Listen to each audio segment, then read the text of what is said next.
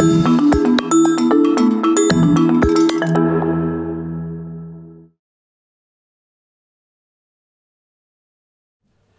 this segment, I'm going to tell you a story of Funovation. It's a small, entirely customer-funded business that today is the world leader in laser mazes.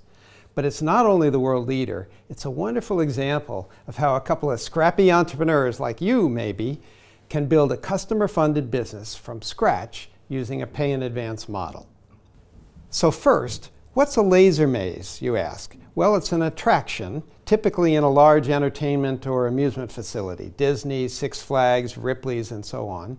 The idea is, of course, to work your way through the maze marked by colorful laser beams, and you have to reach the goal, and you have to do that in a faster time than other people do. So you're competing against one another. It takes brains, brawn, agility, and so on. Young kids love it, teenagers love it, young adults love it too. So it's a great party sort of thing. In 2005, Ted Zimkowski cobbled together some lasers, some sensors, and some other electronic gizmos in his basement in Colorado. And in doing so, he created the first ever laser maze that was not on a movie lot. In fact, if you had stopped by Ted's house back then, when there was a party going on, you could have had some serious fun challenging the laser maze in Ted's basement.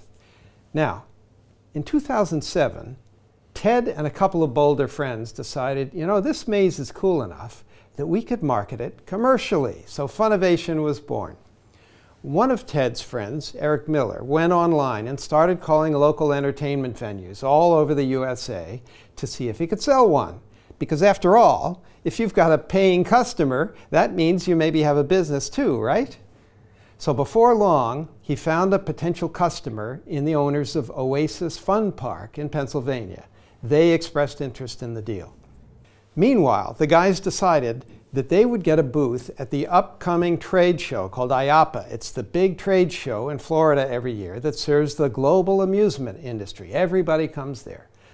So they built a maze in a trailer, and four of them, plus two helpers, hit the road for Orlando, taking a small booth inside the trade show and parking the trailer at the trade show's entrance. The trailer was so busy from open to close every day, recalls Eric, that we couldn't even find time to go pee. The results of the show number one, it was the world debut of laser mazes outside the movie industry. Number two, they got some great press because it was so cool. And number three, and most importantly, they got a signed contract with Oasis Fun Park and a $20,000 check, the down payment, and the down payment cleared and 100 leads from all over the world that Miller, the commercial guy, could start to pursue. Now, in reality, they hadn't actually built a commercially viable maze yet, so that was the next step now that they had a customer in hand.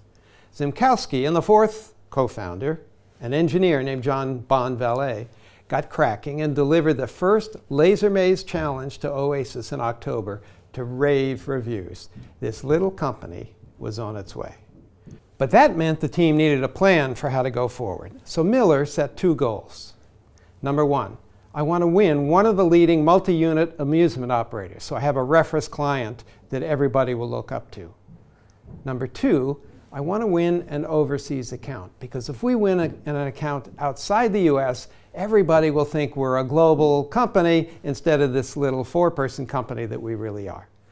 So good news, by the end of 2008, they'd secured a multi-unit agreement from Ripley's, believe it or not, and they'd installed another unit in Dubai, and they had another one under contract in Norway. The business was on its way. Miller then started signing up distributors for Europe and for Asia, called on the US prospects himself, and he had a nice list there, and growth began to take off. So fast forwarding to 2015, there are now 252 units, Funovation units in 27 countries. Funovation is in seven of the world's top 10 multi-unit amusement operators like Disney, Six Flags, Ripley's, and so on. And they have a handful of patents too. But what's probably of most interest to you, who are taking this MOOC, is this very important fact. The company's startup and its growth, other than those very early costs of Ted's experimenting in his basement and the cost for that first trailer and the first trade show, has been entirely funded by its customers' cash. As you've seen so far in this MOOC, the learning here is not going to come just from me. So in the very next segment, Eric Miller is going to join us, and he'll tell you the story of the company's first year or so, just where many of you are now in your business, and he'll tell that story in considerable granular detail. You're going to learn something in the next segment about customer funding, of course, but you're also going to get a few other crucial lessons that will help you as an entrepreneur. Number one, what does a great entrepreneurial team look like? Number two, how do you get customers to pay you in advance for something that doesn't even exist yet? Number three, how do you then go from that first customer to the second, to the fifth, to the tenth, and so on? And then finally, in laser mazes, why has the amusement industry been so receptive to this revolutionary new idea? So here we go, off to meet Eric Miller.